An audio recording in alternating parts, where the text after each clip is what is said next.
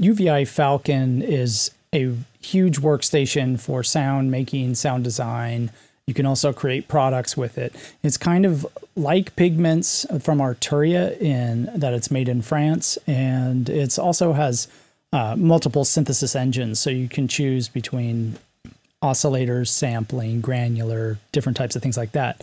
Except in the case of UVI Falcon, you really have no limits. Um, it's really just limited by your computer processing power.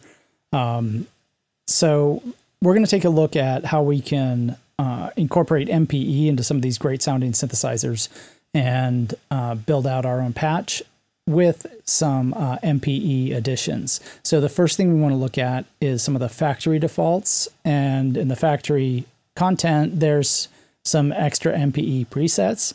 And these kind of give you a good head start on what you can do.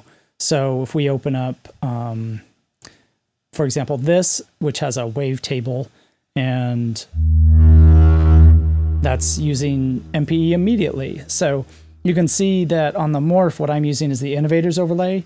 And I've got one of the simplest possible overlays in that it's um, just four big sliders, four big areas, each just four different notes. And uh, I just wanted something very simple for this because I wanted to spend more time exploring the timbre of notes rather than you know playing riffs and melodies. So this is just a piece of paper. I sharpied out the areas approximately. So I know where the boundaries are.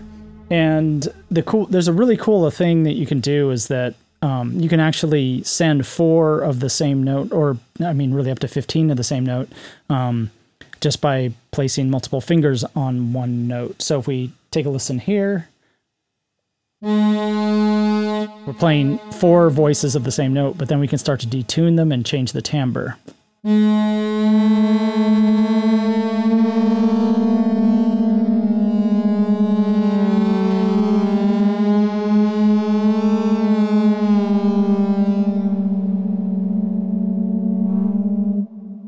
Which is already pretty incredible. This is, you're going to need headphones for this one.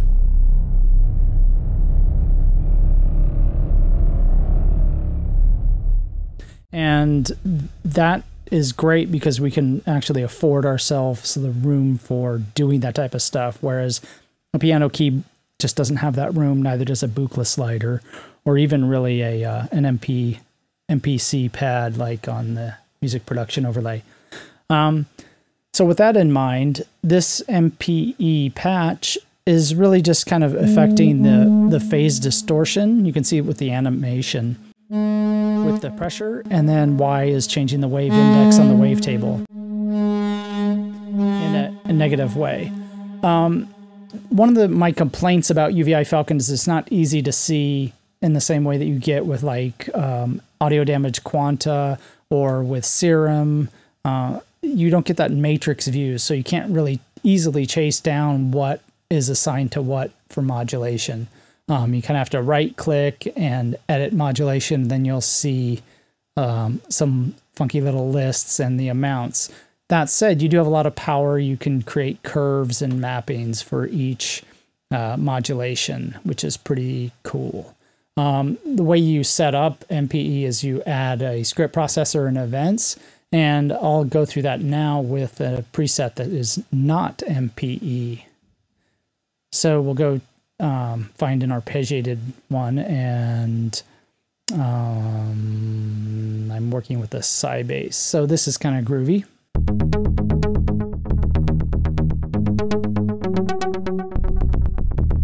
And it's just an arpeggiated uh, bass line for all your Psytrance needs. So again, we'll go to events and here's how we add the MPE modulators. We add a script processor, utilities, MPE, and then we are given these sort of defaults. Uh, you can see pressure is automatically applied to gain, and that refers to your topmost gain of your program. You don't see the animation, but you can hear it, especially if I dial it back a little bit. So it's not a huge amount of expressive gain, but it is something. Um, but you can change that. So you can change that to send poly after touch on pressure. You can see Y is already a, assigned poly after touch, and I'll change that to mod 1. And I'm going to change X to mod 2. Now, in this patch, I want to add a few things that I can control with my fingers. So in the key groups area, I'm going to add some effects. I'm going to add um, a distortion and I'm going to add a low pass filter and let's see, or I'm sorry, a high pass filter and I'll bump up the resonance and so, so that's pretty bright and crazy. Um, what I want to do is attach the X value to this uh, high pass filter. And we do that in any modulation you apply to any parameter. You just right click or double tap clip on, on your uh, trackpad and add modulation. And then you find internal program um, new script event modulation. And here I want to match event ID 2 because that's what we see here in the events. ID2 is pitch. And then we also want to add modulation and add program new script event modulation and go to the curves and add a curve. And I want the range to be a little bit bigger than what I get by default uh, just because I want it to be a little bit more sensitive across the range on X. And let's see, I want to change the preset to um, something with a, a more of a curve to it. And let's see how that sounds.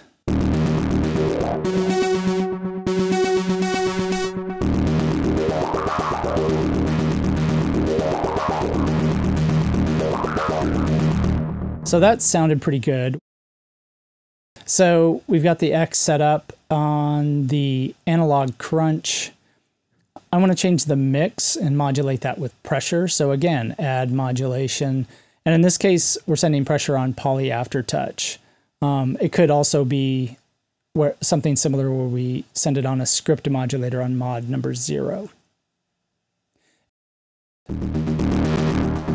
And again, I'm going to really want to affect that um, the sensitivity of that curve. I don't want much at the top end.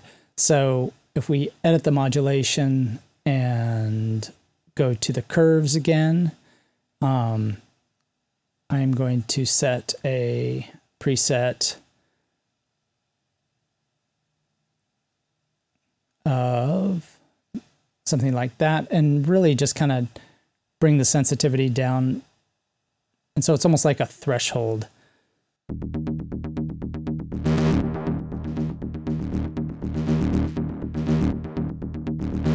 And I actually want the range to go to zero to one, just because that is how that works. Um, so I'll change the presets to, there we go, and really kill off those bottom ends.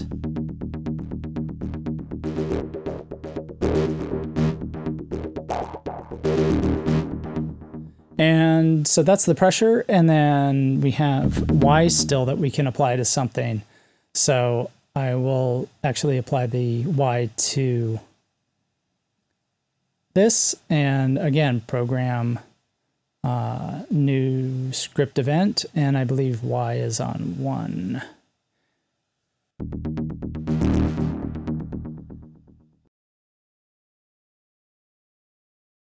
And I want to increase that value there.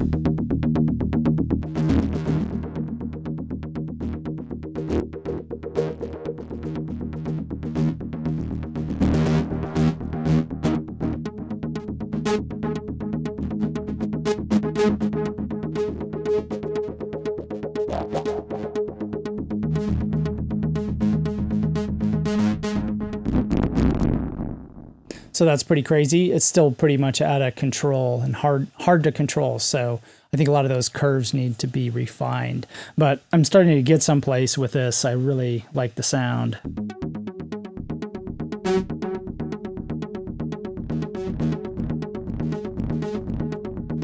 I like being able to fire off that distorted sound into the delay and really set things off. So that's kind of a quick overview of how to apply MPE controls to different things in uh, UVI Falcon's programs. Now, to be transparent, there's some things I didn't touch on, and that is because I haven't figured them out. For example, using the MPE controls to control the macros.